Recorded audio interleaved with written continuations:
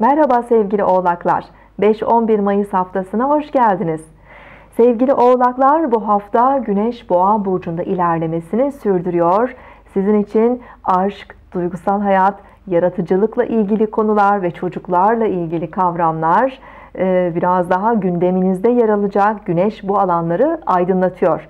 Evet diğer gezegenlerin pozisyonlarına baktığımızda Venüs Koç burcunda sevgili oğlaklar ev ve aile ile ilgili konularda yine sizi destekleyecek. Evinizle uğraşabilirsiniz, evinizi güzelleştirebilirsiniz. Aile üyeleriyle ilişkiler biraz daha sıcaklaşabilir. Bazı organizasyonlar, aile toplantıları düzenleyebilirsiniz. 7 Mayıs'ta Merkür ikizlere geçecek. Merkür ikizlerde e, günlük iş hayatınızda e, birazcık e, iletişimlerin artabileceğini işaret ediyor. Bazı iş anlaşmaları, toplantılar gündemde olabilir.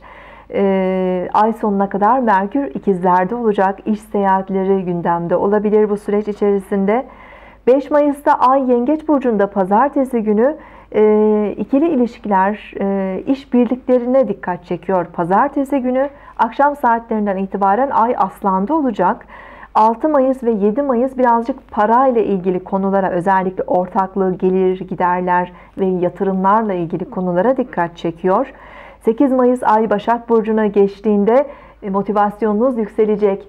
8 Mayıs, 9 Mayıs bazılarınız seyahate çıkabilir veya yurt dışı ile ilgili yüksek öğrenimle ilgili konular gündemde olabilir. Akrabalar ve yakınlarla iletişim artabilir.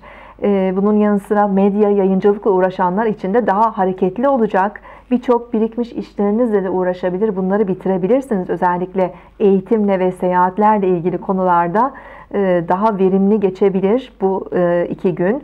10 Mayıs sabah saatlerinde ay boşlukta ancak akşam saatlerinde 20'den sonra terazide olacak. İşiniz, kariyeriniz, sorumluluklarınız ve görevlerinize dikkat çekiyor. Ancak hafta sonu e, özellikle Ay terazi burcunda ilerlerken Venüs ve Mars arasında da karşıt açı etkinleşeceği için e, eviniz, aileniz, görevleriniz ve kariyeriniz arasında biraz çekişme olabilir.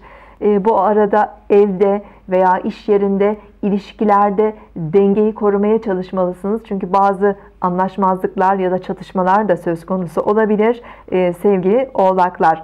Evet Güneş Satürn arasındaki karşıt açı da tabii ki e, sizi özellikle sosyal hayatınızda e, sorumlu olduğunuz kavramlarda bunlar çocuklar olabilir bazı arkadaşlarınız olabilir onlarla ilgili sorumluluklara da dikkat çekiyor olacak. Evet sevgili oğlaklar genel olarak güzel bir hafta hafta sonu cumartesi pazar günü birazcık ilişkilere dikkat etmemiz gerekiyor. Haftaya tekrar görüşmek üzere. Hoşçakalın.